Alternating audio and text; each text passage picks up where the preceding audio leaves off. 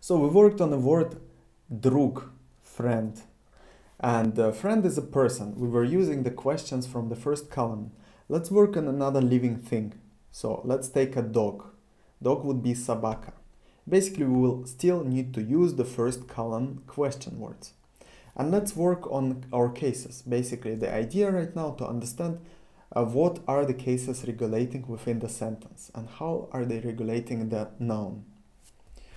So, the first sentence would be I got a dog. У меня собака. У меня собака. У меня собака. I got a dog. У меня кошка would be I got a cat. So, у меня собака. What would be the question? Uh, put on the word собака. Question would be кто у меня? So, who am I having? Кто у меня? Кто у меня? Кто у меня? So we got the question word кто, regulating word собака. And кто is nominative case. Basically, we are taking собака from the dictionary and we can say any word now. Actually, basically, you can use this uh, sentence construction to say uh, anything about, uh, yes, about anything. У меня собака, у меня кошка, у меня ручка, у меня телефон. I got a telephone. Next one. Dog got a tail. У собаки хвост. У собаки хвост.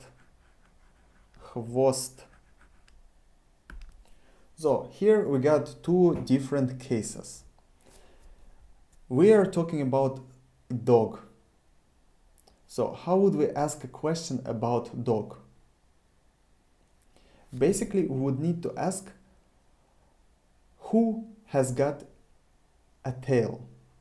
У кого хвост? У кого хвост? У кого хвост? У кого хвост? And we get a question. У кого? Who has? Who has tail? And we get кого, who has in genitive. So it's a genitive. If we would ask something about хвост, if хвост would be uh, um, the topic of our question, then we would ask что у собаки? What is at dogs? Что у собаки? Хвост, tail. Then we would have not a living thing following the logic of a nominative case. So, хвост is in nominative, собаки is in genitive. Actually, у меня, меня follows also the logic of genitive for personal pronouns. So, у меня собака, у собаки хвост. So this way you can see pronouns and adjectives are actually also uh, declined according to the cases. Next one, I go to a dog. Я иду к собаке. Собаке. Я иду к собаке. I go to a dog. What would be the question pointed on dog here? To whom am I going? To whom am I going? Я иду к собаке. I go to a dog. So, к кому я иду? К кому я иду? Кому я иду? Я иду к собаке. Кому я иду? Я иду к собаке. And we get a dative. Next one, I see a dog. Я вижу собаку. Я вижу собаку. Собаку. Я вижу собаку. I see a dog. How would we ask a question to the uh, on the dog here within the sentence? Whom am I seeing? Кого я вижу? Кого я вижу? Кого я вижу? Я вижу собаку. So we got here кого. Whom. Кого я вижу? Я вижу собаку. And we get accusative form of uh, case here. Now I'm surprised by a dog. Я удивлен собакой. Я удивлен собакой. Собакой. Я удивлен собакой. I'm surprised by a dog. So you see, собакой changes itself again. We were having собака, собаки, собаке, собаку, and now собакой. And uh, the question pointed on собакой within the question within the sentence would be Кем я удивлен? By whom am I surprised? Кем я удивлен? Кем я удивлен? Удивлен. Кем я удивлен? Я удивлен собакой. We got instrumental case here. So, я удивлен собакой. Here we got иду, вижу, удивлен. Those are verbs. Verbs conjugated according to the first uh, personal pronoun I. Я иду. Идти. Я иду. Видеть. Я вижу. Удивляться. To be surprised. Я удивлен. I am surprised.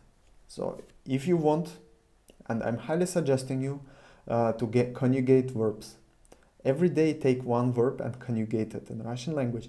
It is very easy to refer because uh, just type it in, uh, in Google and ask, please conjugate me a Russian word uh, удивляться. And he will give you all of the conjugations of uh, Russian word.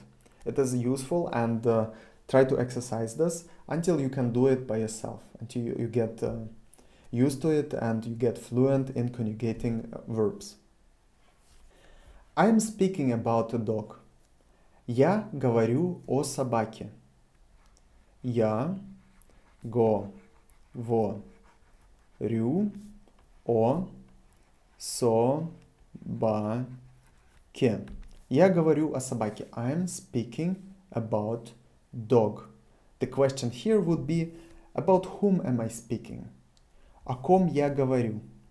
О ком я говорю? Я говорю. О ком я говорю? And we got prepositional case here.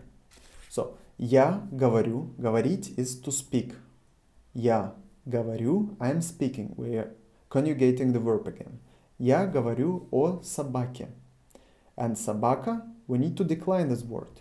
From собака, the nominative case, the way it is uh, presented by uh, dictionary, to собаке. О собаке, about a dog. Because it answers the question о ком. akom or sabake. So it was kind of difficult and kind of tricky and a little bit long. I just try to emphasize on uh, the logic and on technology of cases. It is important for you to understand what we will work on in uh, later lessons because we will work quite few uh, lessons on each single uh, case. And in the next lesson, we will have an example of non-living thing. So we will discuss uh, something about uh, the second column. So we will put sentences and uh, uh, make questions. I hope also that making questions is useful for you because every time you make a question, you build a question and you answer the question. It's a great exercise of Russian language.